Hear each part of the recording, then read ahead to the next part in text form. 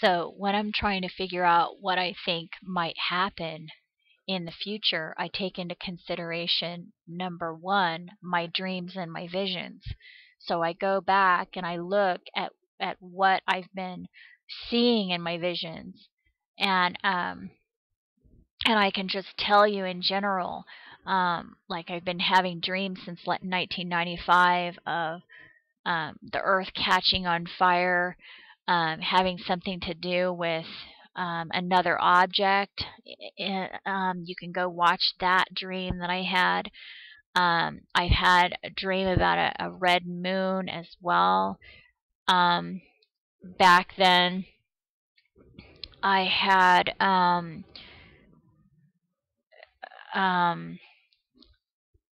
dreams uh, also in 95 i think it's in here i had dreams about a large um, tsunami hitting los angeles.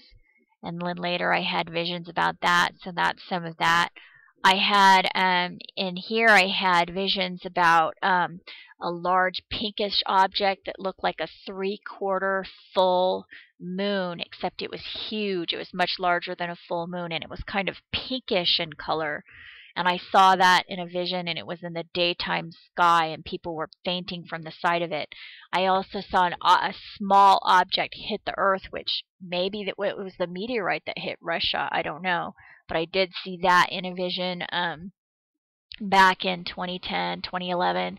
I also saw um, what looked to me like a pole shift. So maybe that was the axis shift that occurred in 2011, but then maybe something much bigger is coming because I've seen these tsunamis and I um, I will say that a lot of times I'll see things in my visions that are much bigger than what they actually are when they happen. So for example, when I had the vision of the Japan event, I saw a huge tsunami that was like over three stories tall but the way that I saw it in my vision was I saw it occurring in my neighborhood where I was living at the time, which was in Brooklyn.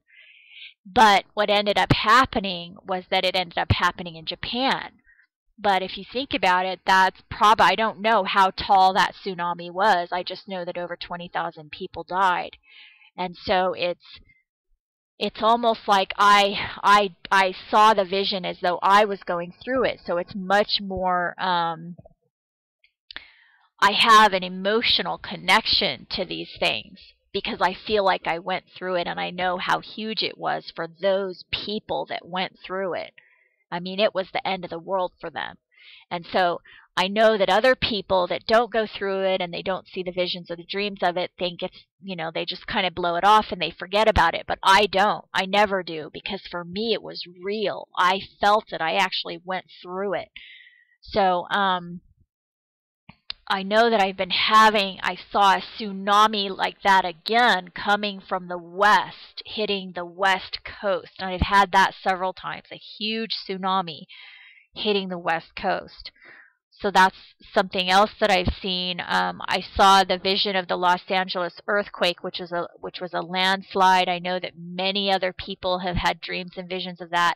I've had several. Remember, I said the number of dr dreams and visions has something to do with it. I had so many I can't even count.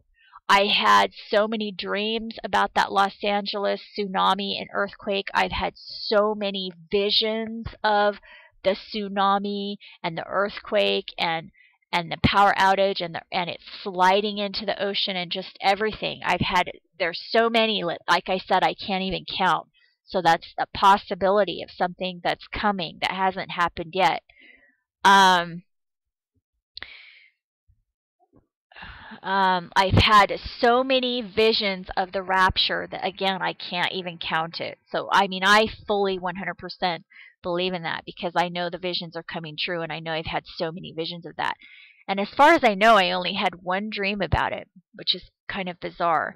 But um, I've also had visions of something that seems like a war, maybe, uh, between the East and the West. I've seen several visions where I'm shown an angel show, pointing to the east and the west and showing it clashing.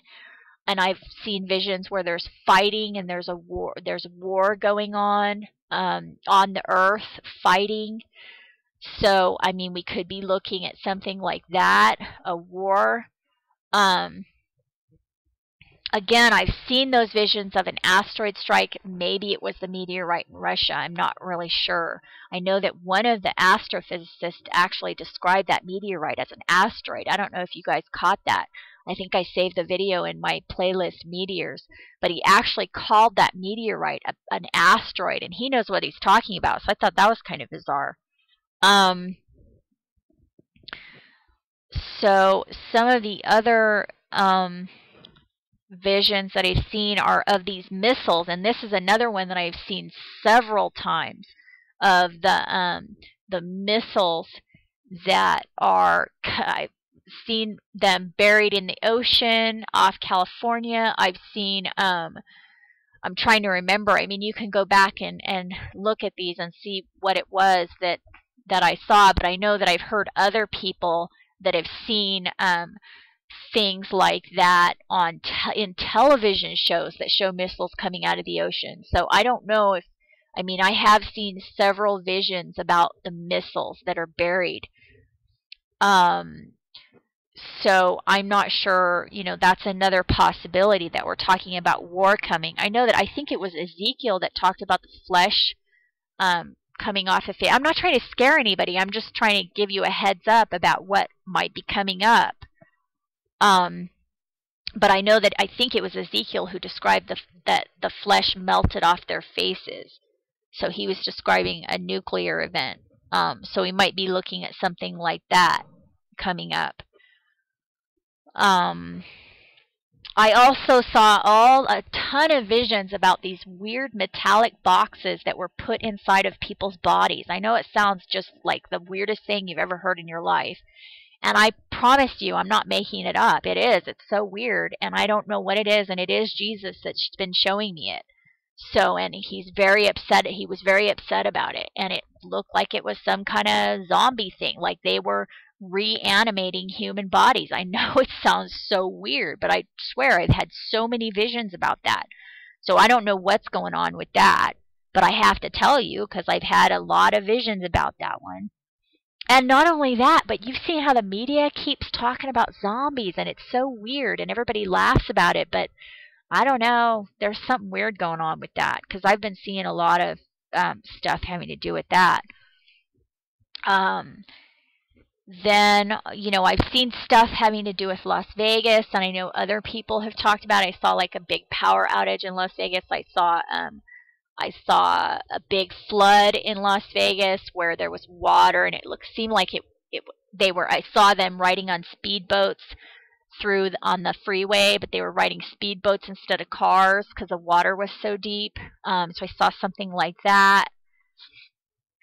Um, and then um, let's see i'm trying to remember i'm going through this playlist here some of this stuff already came true but um, you know yeah a lot of the army stuff a lot of the war so it seems like maybe there's a war coming and i know revelation 12 talks about a war coming so um and then we have um, missiles again, um, armies again. There you go. Uh, seeing these things in the sky, something having to do with the sky, like um, you know, different objects in the sky. I've had all kinds of dreams and visions about that. So many that I can't even count of objects and weird things going on in the skies, like you know, um, look seeing things in telescopes in visions and see and having dreams of objects um, I just recently had one where Jesus showed me two big circles and then he showed me something hitting, like two pieces of chalk hitting. I'll upload a video about that right after this so you can hear what that's about. But again, a lot of stuff about something in the sky. Um, and then, um, you know, directed energy weapons or something like that. I've had few I've had visions about that. Um and then the nuclear event. I had a vision about a new New York nuclear event, and then I had a, a you know just a couple weeks ago I had a vision about um, about a bubble coming off the earth that I realized later it was like a light bubble and I realized later it might have been like an atom bomb or something but I don't know where that one was but I did see a nuclear event in my vision. I know that several other people have seen um, vis- had dreams and visions of nuclear events. Um, I did have a dream about and it looks like I even had a vision and a dream about Yellowstone um, so there's a lot of options when I'm looking through this stuff about what could be coming. I did have a really important vision about the new Madrid that had some fulfillments associated with it that in, that happened in January. Um, so that could be a warning as well. Um, and I know that one of the visions that I had, and I think it was either the very same day or the next day after I had this new Madrid vision, um, was Jesus um, just, it was a very quick vision, and it was while I was a, a, fully awake walking around the house. It was just a very quick vision, and I saw him take three large steps to the east, and that was at the end of December. So I don't know if that means three months. That would be the end of March. So I don't know if that's what it means, though, or not. It, it might not have anything to do with that. Um, but I just I w- thought I'd throw that out there.